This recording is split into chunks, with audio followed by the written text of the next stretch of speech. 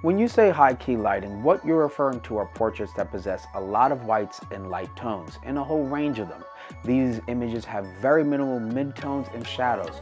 If you use high key lighting in your photos, the midtones become more white and the white tones meanwhile become even whiter. High key photography is not devoid of blacks or shadows, it just has very minimal amounts of these tones. For example, if you're shooting a portrait of a child or a model's headshot, your subject's eyes still have black pupils. Explore this and much more during my upcoming portrait photography workshop, Learn to Capture Portraits Using High Key Lighting. I'll be hosting this workshop at FD Photo Studio in downtown LA Saturday, August 3rd, 2019. The workshop starts at 11 a.m. and ends at 2 p.m.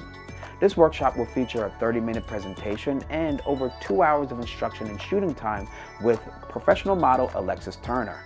We'll be exploring lighting ratios for perfect exposure, lighting setups and placements, posing your subject, and how to get that perfect white background every single time. All you need to bring is your camera and lenses. If you have a pocket if you have a Pocket Wizard flash transceiver, then bring that too. If you don't, no problem because I'll be more than glad to share mine with you. Space is limited, so you want to reserve your space now by going over to my website, robertsilverphotography.com.